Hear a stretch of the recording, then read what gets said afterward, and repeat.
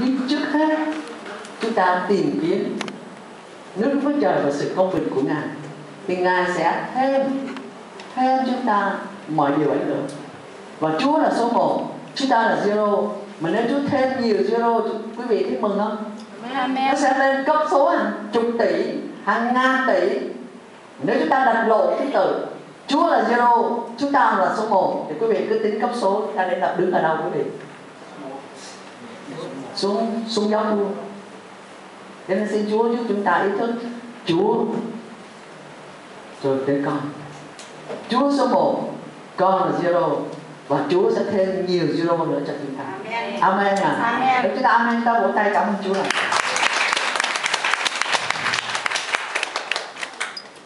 một trong lý do mà Đức Chúa Trời yêu mến David đó là tấm lòng của David dâng hiến cho Chúa khi ông chuẩn bị cho đền thờ của Chúa. Mặc dù Đức Chúa Trời nói rằng con không thể xây được vì bàn tay của con nhúng máu, nhưng mà con trai của con sẽ xây đền thờ. Thì David ông vẫn chuẩn bị đền thờ. Và trong sự ký nhất đoạn 29 ở câu 2 ông nói rằng ta hết sức để chuẩn bị những điều có cần cho đền thờ của Chúa. Và trong câu 3 ông nói là, vì lòng ta yêu mến đền thờ của Đức Chúa Trời, ta cũng sẽ dâng những thuộc, những điều thuộc về riêng ta. Tấm lòng của David là tấm lòng tận hiến cho Chúa. Bởi vì không ai hết ông kinh nghiệm Chúa. Ông biết ơn Chúa và ông biết Chúa rất vĩ đại. Ước ao rằng, quý đệ cho Chúa ở tại đây cũng một tấm lòng như David. Amen. và Chúa nói với David rằng ngôi của con còn đến nơi đây và Chúa Giêsu Christ ngài ra đời từ gia phả của David. Và bất cứ điều gì từ tiếng hát của quý vị từ tài chánh của quý vị từ nhà cửa quý vị cho đến con quý vị bất cứ điều gì quý vị dâng vào tay Chúa đều được phước. Amen. tôi khẳng định với quý vị như vậy không có một vật gì chúng ta dâng cho Chúa mà nó không có ban phước được. Còn nếu chúng ta không dâng cho Chúa thì vua của đời này sẽ cắn vua. Thì Chúa nói điều gì? Chúa nói là lòng các ngươi ở đâu của cải các ngươi ở đó. Chúa hướng dẫn cái cách để chúng ta được phước là đừng đầu tư quá nhiều cho đất này. Vì sao vậy? Đất này hay bị chuyển động. Có một nơi mà không hề chuyển động đó là vương quốc đức chúa trời. Và Amen. vương quốc đức trời ở tại đất này nó là hội thánh của chúa. Amen. cho nên hãy đem tài sản của mình đến cái chỗ chắc chắn nhất. Có một đời tên chúa ông nói là một người khôn ngoan sẽ đem của cải mình đến nơi mà mình sẽ đến ngày nay có nhiều người họ chuẩn bị định cư tại Mỹ. Họ bắt đầu tính toán tài sản ở Việt Nam để tìm cách chuyển qua Mỹ vì họ sẽ sống ở tại đó. Như vậy thì chúng ta là công dân ở đâu chúng ta có hai quốc tịch. Công dân ở dưới đất và công dân ở trên trời. Cho nên đừng để dưới đất nhiều quá. Hắn chuyển trên trời.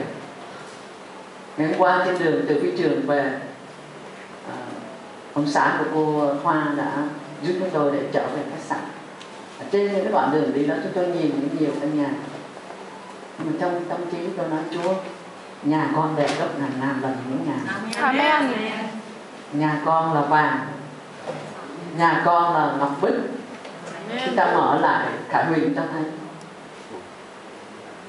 cho nên cái gì có nên gửi về đó. Amen.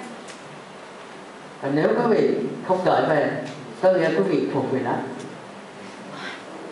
Amen không ạ? Amen. Dạ. Và trong Jeremy Chúa nói rằng ta có kế hoạch bình an và thịnh vượng. Kế hoạch bình an và thịnh vượng đó là khi quý vị quyết định để thực hiện luật của Chúa thì bình an của Chúa ở cùng quý vị. Quý vị quyết định để giao tài sản vào vương quốc Chúa trời thì Chúa nói rằng thạnh vượng sẽ đến với con. Amen. cho nên tôi khích lệ quý vị. Thật sự nó nói về chủ đề nào thì tôi còn có thể nói rằng à, tôi không có nhiều điều để nói nhưng mà nói đến vấn đề tiền tôi nói cả ngày cả đêm không hết Amen. Cảm ơn Chúa. tôi rất thích thú để nói về cái chủ đề này. Tại vì trước khi có Chúa tôi là người rất thích tiền. Tôi rất thích kiếm tiền. Một cách chân chính tôi nói kiếm tiền một cách uh, hợp bất hợp pháp làm cho có tiền. Và đối với tôi trong cuộc đời tôi những điều gì tôi chưa chưa thành công tôi nói chẳng qua bởi vì tôi chưa chưa có cái tư duy để làm tới nó. Và tôi quyết định phải làm tới nó. Nhưng đến khi tôi gặp Chúa thì tôi thay đổi. Từ một người phụ nữ mà tôi đi mua đồ mà vô phúc cho ai mà bán thiếu cho tôi là chết ngay. Tôi cầm cái đó ra, phải làm sao cho đủ làm đủ cân cho tôi. Lý do bởi vì cuộc đời của tôi nó quá khổ. Khi còn bé, đã không có cha mà không có mẹ.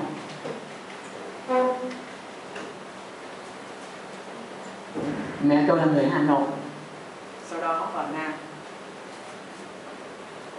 Ờ, và lập gia đình với cha tôi là người Pháp. Và trước khi quân đội Pháp lúc thì tôi và bởi sự cách như thế nào đó, ông bà không có liên lạc với nhau. Và khi tôi ra đời, mẹ tôi không đủ khả năng để nuôi, bởi vì tôi là một đứa bé rất khó nuôi.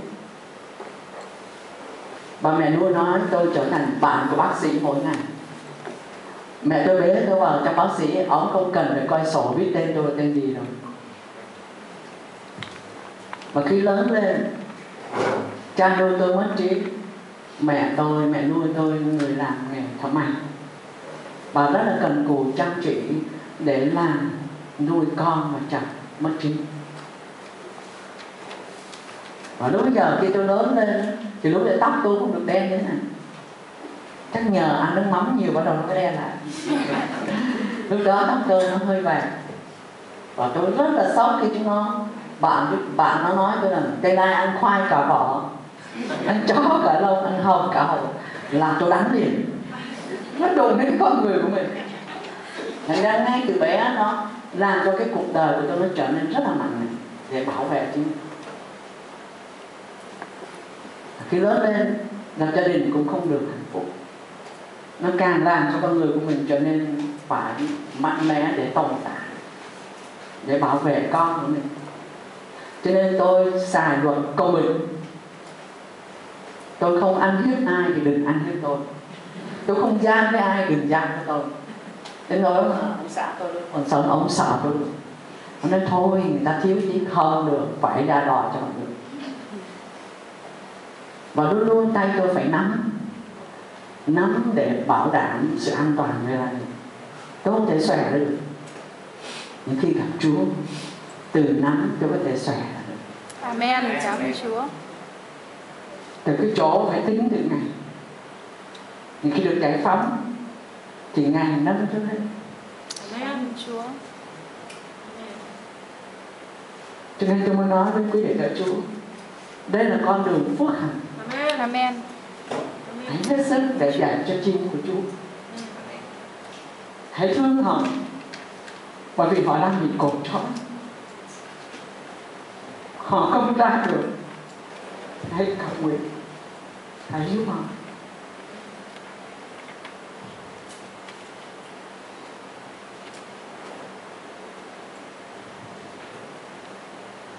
xin Chúa để Chúa phước để mỗi một cái điều chúng ta dâng cho Chúa ở trong lòng ta phải nghĩ rằng dâng điều tốt nhất cho Chúa. Amen.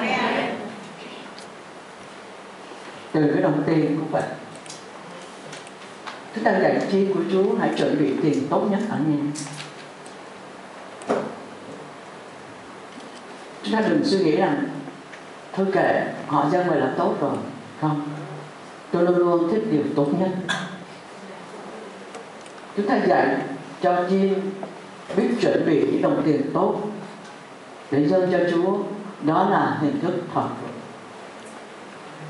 Ba bác sĩ, xin lỗi, các bác sĩ đông phương, khi họ đến để họ thờ phượng cứu Chúa, họ đã dâng những điều tốt nhất, vàng, nhũ một chuyện thì ngày hôm nay chúng ta dạy cho con của Chúa dù đó chỉ là năm ngàn, nhưng mà chúng ta dạy họ kiếm năm ngàn mới để giao cho Chúa. Hãy dạy cho họ, đây là cách thờ phượng Chúa. Cứ nhiều lúc, tôi nhìn thấy những đồng tiền mà không còn nhìn ra bác hồ. Để đưa cho chú có những đồng tiền mà mình nghĩ là đưa cho anh xin, cho họ không lấy luôn. Thế mà chiên cứ thản nhiên mang người nộp cho nhà Chúa cho nên là thủ quỹ quý vị nên chia sẻ nếu là ba bao thơ tên A tên B chúng ta đã tình yêu thương để dạy họ chúng ta sẽ được phước Amen. Amen. Amen. Bởi vì chúng ta càng bày tỏ cái lòng tôn kính Chúa bao nhiêu thì Chúa sẽ đổ phước bấy nhiêu. Trong buổi trưa à, ông xã của cô Phượng mà nói chuyện. Tôi nói là đừng tính với Chúa. Tính với Chúa là từ chết đến bị thương. Thì Chúa nói là nếu chúng ta nghiêm nhặt thì Ngài sẽ nghiêm nhặt Nếu chúng ta rời lọn thì Ngài sẽ rời lọn cho nên nếu mà nói về cái bản tính thì Chúa tính nhanh hơn chúng ta.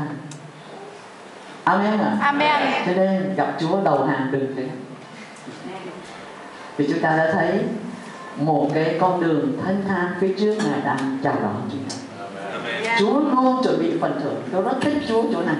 Lúc nào cũng có phần thưởng hết nên chúng ta chỉ là người làm sao biết được biết quyết là lúc nào mà Chúa gọi là mình phải nhanh nhất.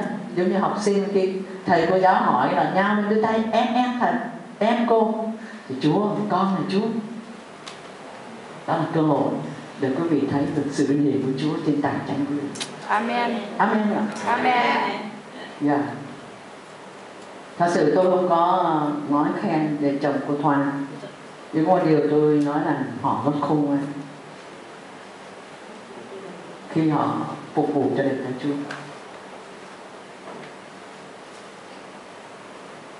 Chúa. Nói là nếu các người tiếp anh em ta kiếp sứ giả của ta là đã tiếp ta Amen.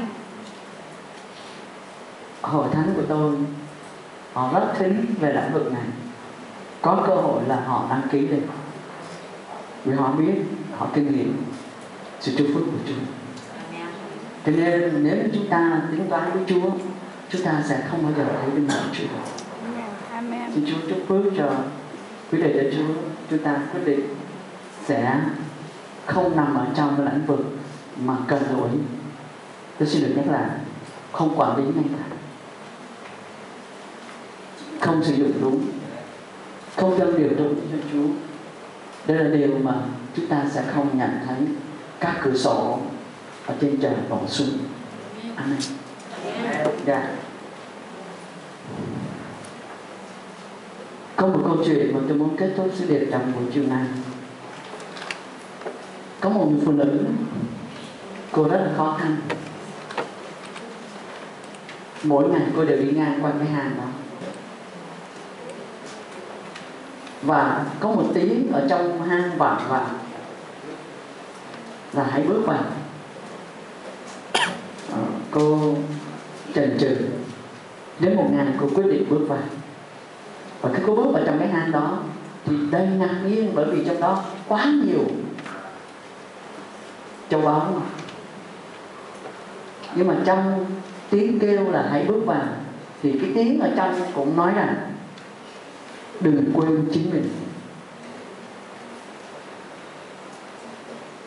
Và cô bước vào. Tôi xin, tôi quên là cô có ấm theo một đứa bé. Và khi cô bước vào thì cô đặt đứa con ở ở dưới nền. Và cô lay hoay để nhặt những cái vật báu bỏ vào bất cứ cái phương tiện nào có thể nhặt thì cô nhặt và trong cái hang nói là chỉ còn một giây nữa là cửa hàng sẽ đóng. Và cô vội vàng hết sức để chạy ra. Và khi cô vừa chạy ra thì cánh cửa hàng đóng lại. Và cái cánh cửa hàng vừa đóng lại thì cô phát hiện quên con của mình trong đó.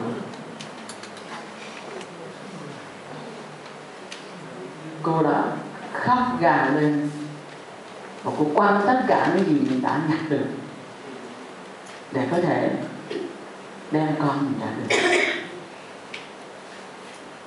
Nên cửa hoàn toàn đóng.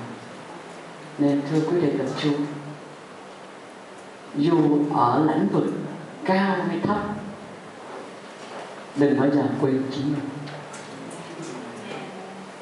hãy nhớ, Chúa luôn luôn đứng hàng đầu và đứa bé đó là một phần mười nếu chúng ta quên, chúng ta mất tất cả. Amen.